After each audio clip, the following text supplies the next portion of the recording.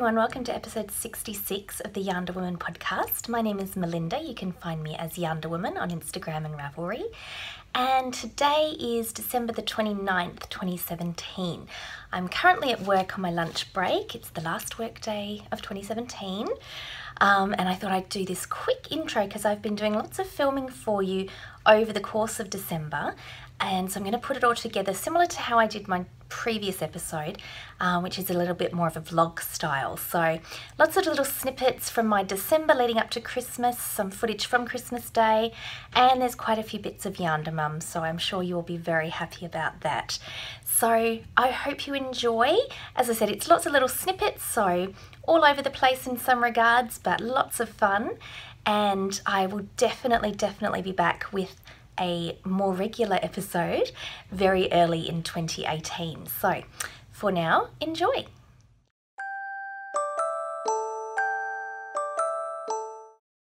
So here are some socks that I have just made. Well, when I say just made, have made recently um, for my sister-in-law, Yarnder Sil, S-I-L.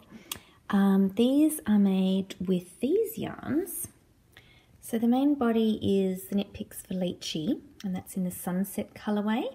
But these balls that you can see here, I actually had to uh, rip out some of the stripes uh, to make the colors stay in place. When I say stay in place, I mean stay in order. So I started um, this one, or whichever one it was, but started with the orange into the yellow because my sister-in-law really likes yellow, so I wanted that to be prominent because they're ankle socks, so I wanted those to be visible.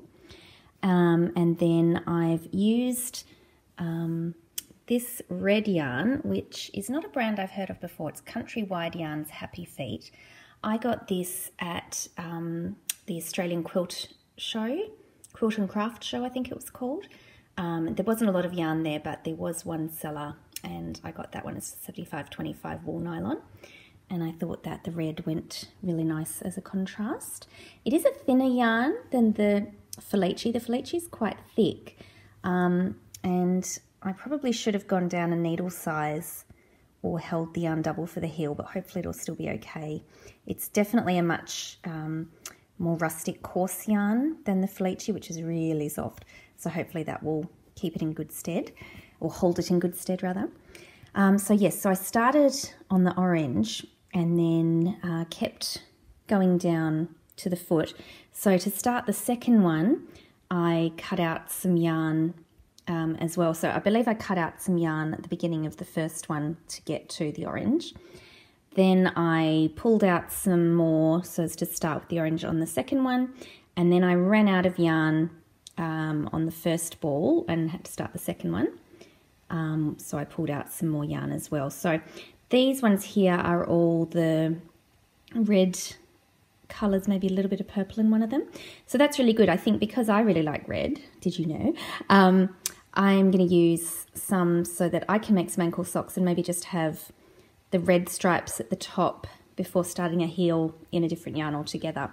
So I think that's going to be a really nice way to use up um, those scraps there. Um, that's the label of the ball that's finished. So Felici and Sunset. Um, and I really love how these turned out. I think it's a really lovely colourway. Um, as I said, my sister-in-law loves yellows and oranges, so I think she's going to really, really enjoy these. Um, she does say she enjoys my socks. I've knit her several before, so I think that's going to be good. Uh, and this is the project bag I used. Isn't it beautiful? I was very spoiled and this was sewn just for me by my dear friend Isabel, who you will know as Fluffy Fibres of the podcast of the same name. Um, and she does absolutely beautiful work in that beautiful French fabric. I'm very spoiled. And it was lovely to have that beautiful bag to hold this project for my lovely sister-in-law. Um, and I'll be giving those to her very soon. It was her birthday the other day and I hope she will enjoy them.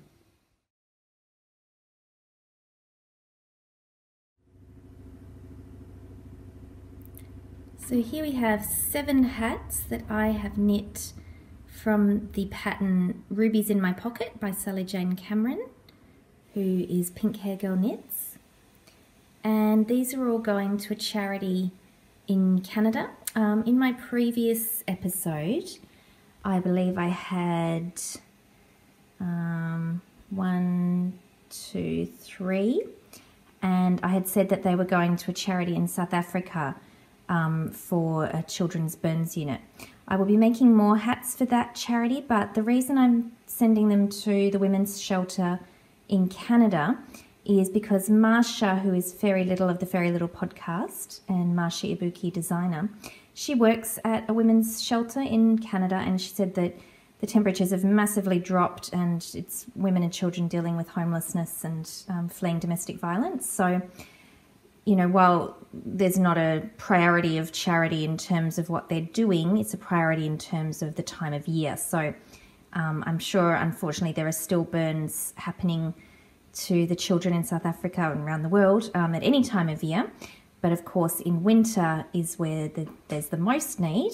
So there's another five to six months um, for that. And I say there's the most need because the children who are getting burnt are mostly those who um, live in um, areas where there's not power, so they're using open fire as their heat source. So in winter, obviously, there's more fires um, and therefore more accidents.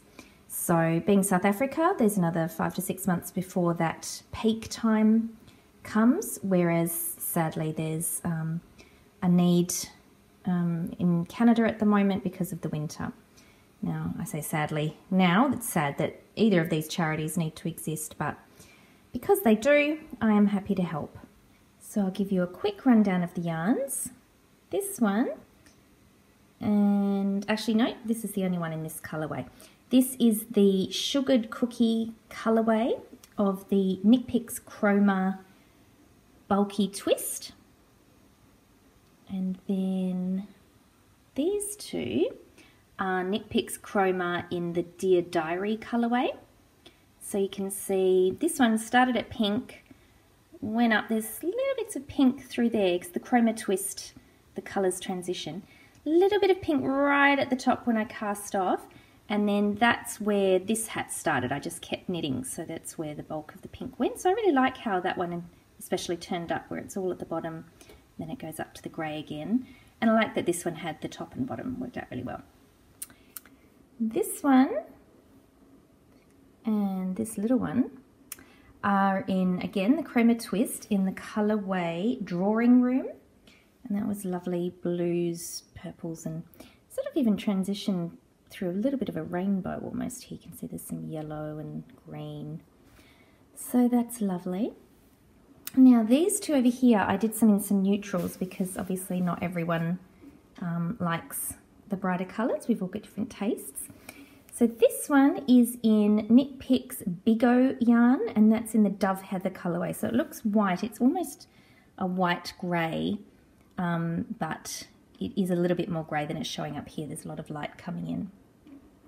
This one as well is Knit Picks. Actually, they're all Knit Picks. Um, this is in the Swish Worsted, and I've held two yarns together. So from the cast on right up till this point, I held together a grey and a brown. So you can see that in some parts the brown shows, some parts the grey shows, some parts both are showing together.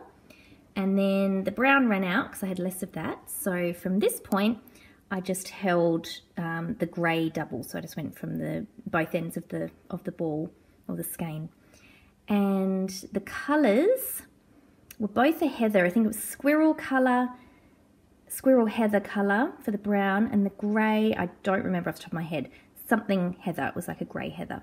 Maybe slate heather, something like that. But it'll all of these will be on my uh, Ravelry project pages. And as I said, they're all using the Rubies in My Pocket pattern, but you'll see on the two um, baby-sized ones, um, I didn't do the pattern, I just followed the instructions. Um, but because I made these when I was near the end of each ball for the respective colorways, I just wanted to use as much yarn as possible in hat, not using any on the pattern. But it's a fantastic pattern, um, really simple. Um, after making the first one, I didn't need to refer to it anymore. Really, really simple, but so effective. Um, and as I said, it's a real shame that any charity has a requirement. It's a shame that we have to have charities, but obviously it's absolutely fantastic that we do because, um, you know, helping our community is what life's all about. So I'm very pleased to be able to contribute these. Um, domestic violence and women's and children's issues is a, um, an issue and charity is close to my heart um, because of um, early experiences in my childhood. So I'm really, really pleased that I'm able to help with this. And I'm off to the post office now to get them over there as quickly as possible. So these are some socks for my stepson Dorian, the younger son. He um, lives out of home, so he uh, does not appear on my Instagram very often. He's also not too excited about being in photos. But tomorrow we are having his birthday party for his 21st birthday, which is incredible and weird. but these are for his birthday. They are using um, a, the black heels, toes and ribbing are Bergère de France in just the black colourway. Um, the lovely patterned yarn was what I had left over from my West Yorkshire spinners in the, mm, it's a bird, something like red lark or something. But yeah, all the details will be in my Ravelry page as always. And I had knit some full-size socks um, in that yarn. Um, and I was actually wearing them, wearing those socks when I cast these on. So that was quite fun. So I just divided up what I had left um, into just two halves. And by adding the black, I was able to extend it. So the toe that I've done is the standard toe I always do, which is the one from the pattern Skedaddle by Lena Gerald, who is Fruchtbadagak. Let's hope I got that pronunciation right, Lena. she has the A Wee Bit Nitty podcast. Um, and that toe is really only that little end bit. So I did, I can't remember exactly the notes on my project page again, probably about 20 rows plain stockinette to just make the length full um, before starting the toe. But I think that amount of black looks really nice because it sort of balances the amount that's in the heel, which is the Fish Lips Kiss heel. And I just did maybe 10 or 15 rows of ribbing, a little bit there on the ankle, so there'll definitely be just ankle socks, um, which is good because that's mostly what he wears. Um, and I really hope he likes them. It's Tokmas morning. So Tokmas, T-O-K, is Tiny Owl Knits, which is um, a group on Ravelry named after the um, designer of the same name, Stephanie Dosen, I believe is how you pronounce her name.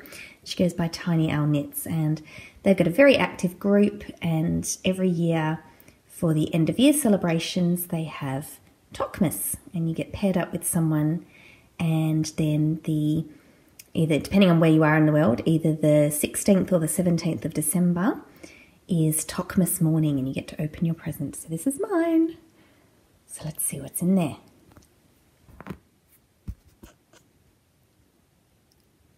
Wowee, I have been completely spoiled by my spoiler from Tokmas. So we have some beautiful 50% merino, 50% silk fingering weight yarn. It's beautiful and so soft. And of course, red, gorgeous. This candied lemons. Oh, yum, yum, yum. These are some beautiful tea bags with winter wake up tea, and it's got such a cinnamony, what I imagine like a wintry Christmas would smell like. So that's going to be awesome because we have a very summery Christmas. So that's going to be lovely for atmosphere. Here, look at these Wonder Woman stitch markers. So we've got the Wonder Woman symbol, her crown, her sword, and her shield, or just the you know the symbol on her shield. So awesome. And then, as if you know that wasn't enough awesomeness, look,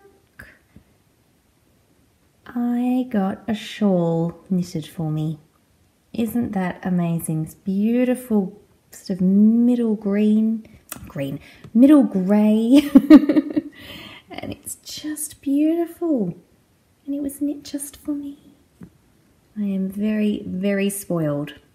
So now I am going to go on to the Tokmas thread on the Tiny Owl Knits forum on Ravelry and um, celebrate Tokmas morning with everyone and thank my spoiler and have a lovely morning. It's actually really quite chilly and rainy today, which is very unusual considering it's summer and we've had days of 36 and 38 Celsius, which I think is like 98 Fahrenheit, I think. So today it's only 21 Celsius.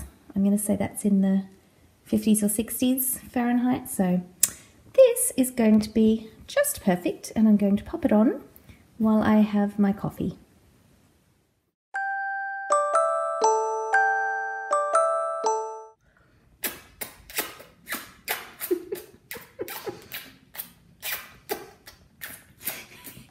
That bring you joy, Yarnder Mum? It sure does. and have you been dipping your lollipop into your coffee? Just like this. This is how you do it. Yarnder Mum's invented a new treat. Mm.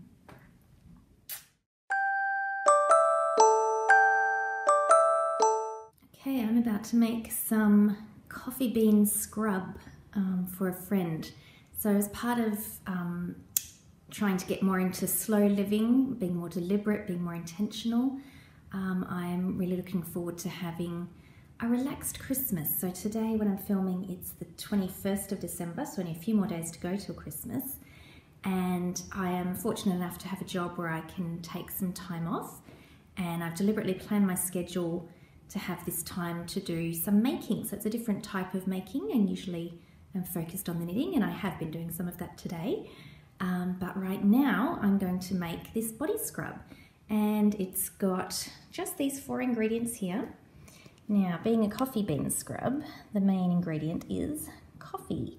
So these are spent grounds, so the grounds I've already used to make coffee. Um, and as you can see, I've got quite a bit. it's quite a big container. Um, and I'm not sure if it'll show up very well, but there's different, slightly different colours in here because um, I've had a few different varieties of coffee. I like to get um, always fair trade um, coffee and single origin. And so depending on the roast, sometimes it comes out darker or lighter. So it doesn't make any difference at all in terms of the scrub um, itself, except maybe, you know, a very subtle difference in scent. Um, but I think that's going to be lovely. So I've just been collecting these over the past few weeks. Um, actually, several weeks. There's quite, I don't drink that much coffee. I do drink a lot of coffee, but yeah, it's probably about mm, four or five weeks worth in there. Um, and it's been really lovely having, um, when I'm having my coffee, obviously, I enjoy the taste and I try to be really mindful as I'm consuming it, not just, you know, gulp it down for the caffeine, but to really focus on it, um, focus on the process of making it. I either use my espresso machine or um, lately I've been doing some pour overs, like a filter coffee. So yeah, I try to be really mindful while I drink it and enjoy the flavour, but while I've been collecting the grinds, it's been really lovely as well to have that additional thought of the fact that these grinds are going to be going to my friends and family members when I make something further for them. Ingredients that will be going in, we've got some pink Himalayan salt there, some coconut oil, and some vanilla bean extract. So I think this is going to be gorgeous. Um, it'll be very simple as well. Um, we just need to, I believe, had to check the recipe again, but I believe we just melt the coconut oil and mix it all together essentially and then put it in some jars. Um, I try to buy as little plastic as possible um, so then I can reuse all the jars. So this jar is glass, but that's not really going to be um, suitable for the sort of thing I'd put coffee grinds in when that's empty, but something like this is really good for storing or um, for giving away with things in it. Obviously not at the moment, it's still quite full, but going forward it might be. So the recipe I'm using is from Alexx Stuart, who has lowtoxlife.com. If you sign up to um, receive her newsletters, which are always really, really informative um, via email, um, they're possibly weekly. I couldn't even tell you how frequent they are. They're, so it's you're not going to get spammed. But when you sign up, you receive a little booklet, an ebook with lots of recipes for low tox and natural and handmade gifts. And this coffee body scrub is one of them. Um, I'm not affiliated with Alexx. She's awesome and I really love her and I love what she does. Um, so I'm mentioning it only to tell you where I got the recipe and um, to really encourage you because I think you get a lot of value um, from her newsletters and her podcast, Low Tox Life, and um, all the things she does. So now let's melt some oil and get mixing. So I've got the coffee, the salt, and the vanilla bean extract all together while I'm waiting for the coconut oil to melt. And my goodness, does this smell good. The coffee and the vanilla smell is just amazing. And I don't even like flavored coffee to drink um, at all. Like I like my coffee as coffee. Um, but so I, you know, while that's why I'm so surprised because a vanilla coffee to me usually wouldn't be enticing, but this smell is amazing because it's just, I suppose, the, the pure essence of both of the flavors just being there. Um, so yes, soon we'll be mixing in the oil. Once it's melted, I'll let it cool just a little bit and then we'll get mixing. So here we go, we're in the mixing stage. You can see at the moment there's still oil at the top here, but I'll keep mixing. I've added a little bit of extra coffee just to get more of that um, exfoliation happening when it's being used. And oh, smell is amazing now that we've added the coconut oil in. Oh, I'm so happy with this and it's so simple um, and just a really lovely way of creating something. And here we have it. Sorry, the lighting is washing everything out. It is a very sunny day here today, which is lovely, but not so great for the filming. But this is a very full jar. This is the one that's going to a friend this evening. These two I've made just sort of half portions, um, and I'll be uh, either putting them in smaller jars or giving them as they are I will work that out later, depending on who they're going to, or I might even use some myself, who knows. But this one here is definitely a gift, so I filled it all the way up to the top. Um, and I'm going to decorate it with some yarn, and I can't wait for the person to receive it. You can see here that it looks like the coconut oil has sort of separated a bit because I suppose the coffee granules and the salt is heavier than the oil. But uh, as I said earlier, once the oil hardens a little bit, depending on what temperature um, the jars are kept in. It will all sort of mix in a bit, or even if it hardens and it's still at the top there, it can still just be mixed in prior to use. So I'm very excited about that. I'm very pleased to have been able to reuse all the coffee grinds and not just throw them away, or I put them in the, the compost heap um, here, so they do get composted. But it's really nice for them to be reused for something that smells very delicious and will be very good for the skin because the caffeine in the coffee is really good for your skin, gives it a bit of a pep. And there you go. I really recommend signing up for the Low Tox Life newsletter so that you can get the recipe. Some more bad lighting, sorry about that. But this is a scarf I've just finished and it's in blocking this is the Knit Night Shawl pattern. If you've watched my channel before, you know I really like that pattern. This one is knit in DK yarn. It's written for fingering weight, but you know, you can use anything. Um, and this is going to be for Mum. So I think it's been in there long enough. I'm going to block it out. I'm just going to block it casually. I'm not going to pin it. Um, I'm just going to hang it over the drying rack and let it do its thing. So this is what I meant by casual blocking. I'm not pinning it out or putting it on proper mats or a towel. It's just lying all the way across our big clothes horse. Is that a terminology used in other countries? Like this kind of drying rack? Let me just go back. In, you know, whatever shape or form. Is that called a clothes horse in other countries? It is here. Anyway, uh, back to the shawl or scarf. So this yarn is Madelinetosh in the DK and the colour is Holy Festival, H-O-L-I, and it's got just very, very vibrant and pretty colours. Very, very neon. This was originally going to be a charity project, but then I was knit, and I started it months ago just as something to knit on. Um, but then I pulled it out the other day when Yarn Mum and I went out for lunch at our favourite cafe that does vegetarian whole food yumminess. Um, and I was knitting on it just to grab something because I didn't have anything else that was ready to go. And she said she would quite like it and therefore she gets it. I knit something else for charity. To be honest, sometimes, um, you know, it depends what charity you're giving to.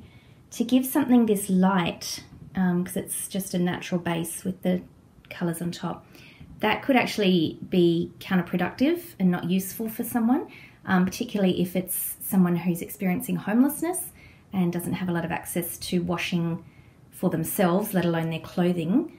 Um, to give them something light coloured um, could get dirty very easily, and then that's, you know, very undignified for them to have to have something that looks dirty, um, you know, when they're in that situation. Obviously, if you give it to another charity, perhaps a domestic violence shelter, again, though, not everyone has access to, you know, washing supplies, even if they're in a shelter or emergency housing. Um, so I think all in all, it is better that this sort of colourway um, goes to Yarn Mum and I'll be able to wash it for her. And I'll knit something else for charity um, that's equally as beautiful but in a colour that's um, more useful for the person considering it's all about helping them. Here's the other side. So the Knit Night pattern has little picot bind off. Look at those colours. Actually, the colours look much better from this side. So sorry for the other version you experienced before, but that's okay. I think you get the idea. so yes, pretty, pretty, pretty. So I weave in all my ends prior to blocking, and that way once the yarn relaxes together um, and expands a little bit, so does the end that's been woven in, and when you snip it off, it's then at the actual edge of the fabric. Um, I used a 4.5 millimeter. For this while I was knitting, I thought it might be a little bit tight. It wasn't unwieldy, um, but I was relaxed enough to keep going with it. And I think, yeah, it's blocked out with a lot more drape because this is a super wash merino. So it's a 4.5 millimeter on DK. I probably could have even gone up to a 5 or a 5.5, but you know, I'd started it by that point and it's turned out really nice. It's got lovely drape, it's definitely expanded, um, and I think that's going to be beautiful. So I was going to keep this for next year's Mother's Day, which is not for another five months, um, but because I finished it in time for Christmas, it's going to be for Christmas for Yarnder Mum. She won't be able to wear it for a while, but that doesn't matter. She will enjoy opening a present and she'll enjoy all those beautiful colours and we can hang it up in her room until such time as the weather cools enough for a scarf to be relevant. I think the weather today is about 38 degrees Celsius, which is just shy of 100 Fahrenheit. So yeah, definitely not scarf weather, but it was lovely to sit and knit on this scarf this morning. While I was catching up on some Vlogmas episodes, I watched Vlogmas with Mars of Hey Brownberry and Stitch Party with Elena, who's Flying Muse. And that was lovely while I bound this off. And I have just a little bit of yarn left that I'll be using for wrapping on the jars of the coffee body scrub that I just made. It all ties in nicely. Okay, so this is Bonbon Making Station. So Christmas bonbons or crackers, as they're called, is traditional for Christmas tables here in Australia, and I know in a lot of other countries. I'm not sure if they are worldwide or Western worldwide, but here we go. Now this year I am making them myself to avoid as much waste and particularly plastic because the bonbons usually buy have little plastic toys in them that, you know, everyone goes, huh, it's a spinning top. And then, you know, it ends up in either recycling or landfill. So this year I'm making my own. I've got toilet rolls, hygienically collected, I will add. this is the wrapping paper that was from the Who Gives a CRAP brand um, of toilet paper, which is what I always buy anyway, but they do a Christmas wrapping paper range for the very reason of using for either wrapping paper or, as I'm going to do here, making bonbons and paper hats. So I've got the wrapping there. I've got yarn leftovers to tie them together. Damien has made little badges for everyone as the little toys, so something much more um, meaningful as well as not just rubbish people can keep. I'm having the Paddington one. So cute. Um, I also found these little pictures that were my photos taken way back in the early 2000s. Um, and I think I got them for free from Flickr free print range, so I'm going to put those in. Um, I've got this scrap paper here because I'm actually going to write out the jokes um, myself. I do have some little joke cards here that were from some previous bonbons, um, but I'm going to reuse some wrapping paper here. There's some chopstick labels, some receipts, and if I'm going to use a receipt, I'm going to try and find something that's relevant to the person who's getting it. For example, I have to whisper in case she's listening. The Yarnder teen, this is the receipt when we bought her two newest pet rats. So that's going to be her joke there. So I think it's going to be a fabulous hand making afternoon. I've got my coffee all set and my Winnie the Pooh mug. And much more meaningful, zero waste. Well, I mean, you know, this is still going to be waste. Upcycled then, I suppose, because there will still be waste, but upcycled, not creating new products to make the bonbons, and using up some things that we already had, scraps of yarn, and I'm going to have fun, put on some Christmas music.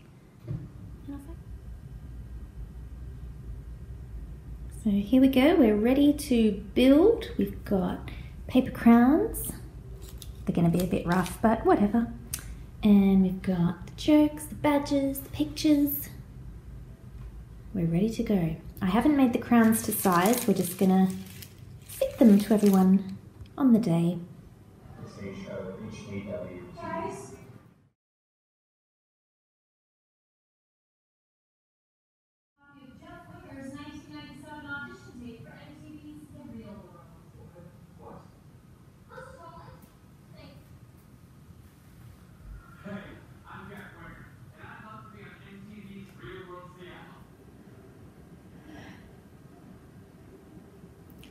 So here is our Christmas tree this year. Um, it's a little shrub in the middle here. This one. And next to it are two little plants, and they're actually called Christmas candles because these beautiful red flowers here. So this plant is an Australian native, a West Australian native called an Albany woolly bush, which is just so cute and wool, woolly, you know, it's awesome and it is really soft actually and quite woolly like.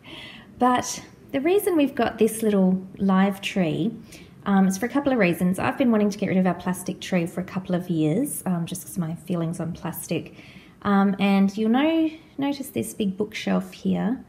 That's not usually in this room. Um, we had to move it because of um, works that were being done in the study. We had a whole lot of water damage against the wall. Um, and this nook is where we would normally put our big Christmas tree. So for, that was the main reason, but I was happy to not have it because of the plastic. I think we might sell it next year. That's no judgment of anyone else with a fake tree. I've had a fake tree all my life. It's just where I'm at at the moment. Um, I am very happy having this little shrub.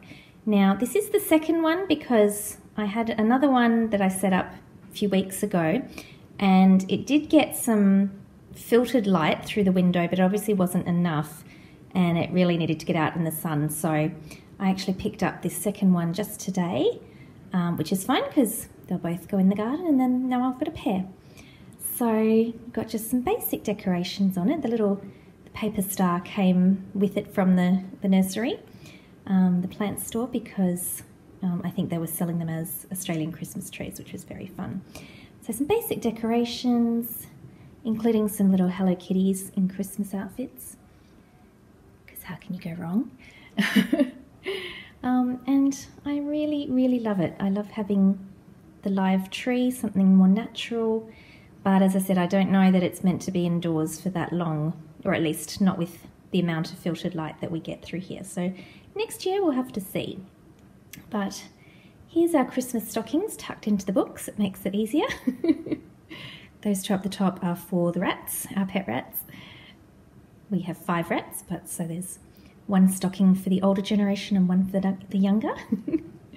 and conveniently, sorry for the shadow coming in there, but there were two empty shelves on this bookshelf when we rearranged it, so I'm using that for the presents. So, as well as being under the tree, we've got presents all organised on the shelves. they're all wrapped in paper from the Who Gives a CRAP um, toilet paper company. I just showed you that when I was making the bonbons. And it just makes awesome wrapping paper. I'm so glad they did a Christmas range again this year. They did last year, so hopefully they'll continue doing it because, and it's different every year, but um, it just makes it really fun because it's toilet paper I would buy anyway because that's who I buy my toilet paper from because they um, use all recycled and sustainable papers and also 50% of their profits go to um, building toilets in the third world. But, oh, something just moved on the tree. I think it's just, if you have a look here, it's not very stable, so I think maybe that decoration just was propped up before. That's okay. But yes, so the wrapping paper from Who Gives a C, RAP, is uh, awesome. So we've got the red and green, which this year's Christmas, but I had much more to wrap. So those ones down there are just from their usual range, but also look very nicely festive. So yes, that's our Christmas tree and our Christmas present pile.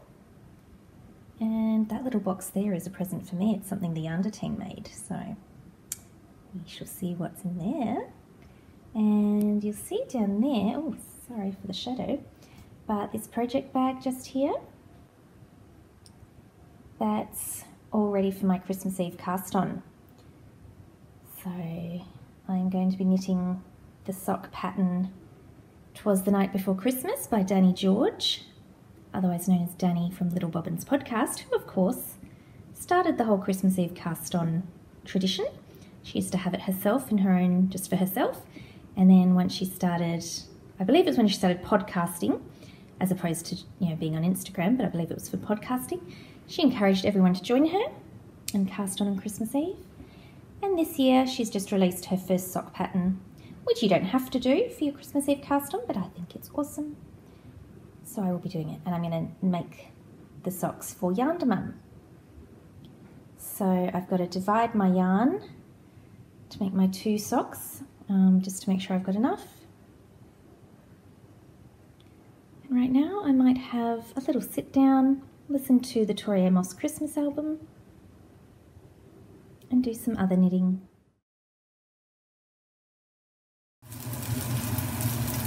So it's Christmas Eve and I'm getting the food ready. I'm cooking some tofu um, and this will be my vegan Caesar salad.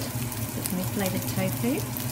And in the oven, we'll just move on down here. I've got some chickpeas roasting. Cut in there. and the chickpeas roasting are going to be in place of bread croutons. Here's the dressing that's about to go on the tofu. I've also made some vegan parmesan cheese in inverted commas. glove is there because I'm going to be peeling some fresh beetroot. And all of these vegan recipes I'm getting from, I believe the website's called simplyvegan.com. I'll put a link uh, in the show notes for this episode. And a lot of my flavours, quite by coincidence, are going to have similar, sorry, a lot of my dishes are going to have similar flavours. So let's tip this in. Yum, yum, yum. To be hard not to eat any of this and to keep it for tomorrow's lunch. So, who knew the garden was hiding these parsnips? Now, they're not of great size, obviously, but hey, they're homegrown. They can go into our Christmas meal. I think they, uh, the plant worked a lot on its um, foliage more than its actual parsnip, but that's fine. so I'm now making some fresh breadcrumbs. Here's some I prepared earlier, along with the crumbs that have just fallen off. So this is using a low gluten bread. Um, here in Australia there's a bakery called Baker's Delight, bakery chain, um, and they do a bread called LOFO, which is low FODMAP friendly. Um, I don't follow the low FODMAP, but that means that it's low in gluten and other things. And both myself and Yarnder Mum are gluten intolerant. So this is going to be the base for the nut roast I'm making. So it'll be breadcrumbs, and and some almond meal. I'm actually making double portions so that I can be guaranteed of lots of leftovers. so here is the vegetarian nut loaf. So we've got breadcrumbs, almond meal, artichoke hearts, sage, thyme, and parsley, chestnuts, water chestnuts. Yummy, yummy, yummy. And we make it into this loaf. I've put coconut oil all over this aluminium foil and that will go in the fridge now and we'll bake it in the oven tomorrow just in time to eat. Yum, yum, yum.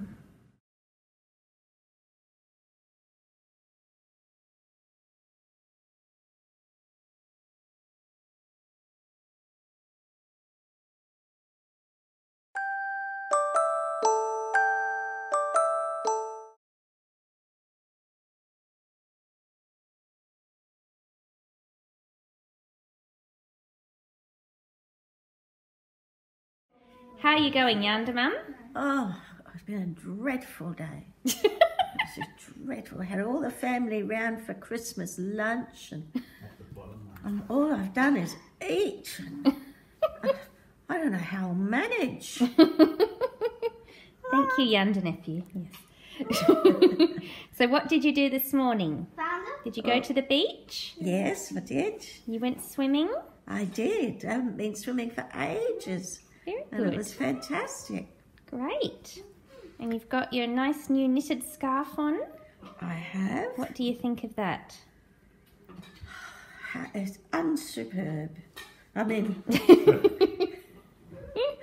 you can see I'm. Unsurpassed. You've had a couple of wines. It's just beautiful. I love these scarves. Mm. You check it for And me. you've got all your necklaces on. Yes, and these little brooch. You've got your little. So this is from the the bonbons that I made. Just move your What do you hand. notice about Yarnder Mum got a little? Christmas wombat. And she mm-hmm. bought herself these new What's- what's the same necklaces about each square? from Little Shop of Plenty that we go to a lot. Yes, You've had a good day. backgrounds are the same. absolutely. Blue trees are all the Absolutely. same way as well. Wonderful day. Wonderful. Bye. Bye.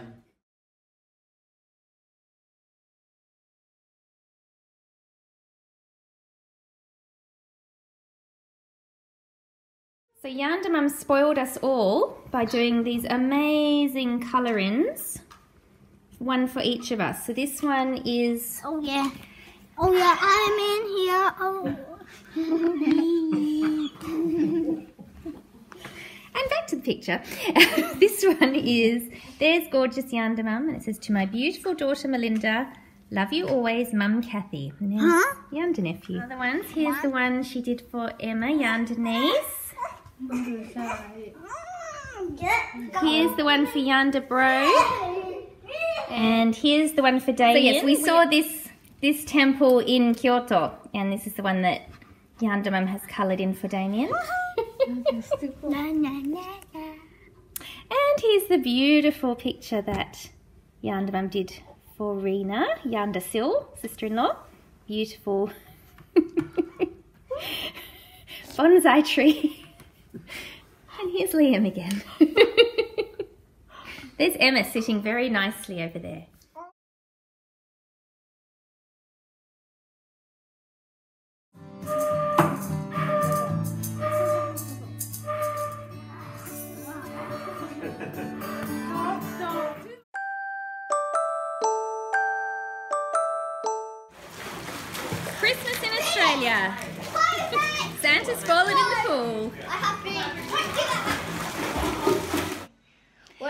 Here is Yarnder Lexi.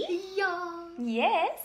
And she is very excited to be on the podcast. And I've always wanted to be a famous YouTuber. I do have a channel. Mm, Um, it's called Lexi Limo, so check that out. there we go.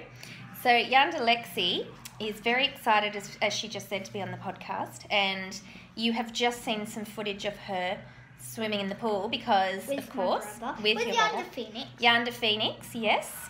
Who are Yarnder nephew and Yarnder niece number two, but we're going with Yarnder Lexi and Yarnder Phoenix because that's cooler. Yeah. So, as you would have seen them swimming just now, because of course in Australia it's summer for Christmas, and swimming is quite Wait, popular. did you see the desserts? Yes, I'm going to show you the photos of the desserts now. We had trifle and a pavlova. So I- good. I, wait, did I? Mm. I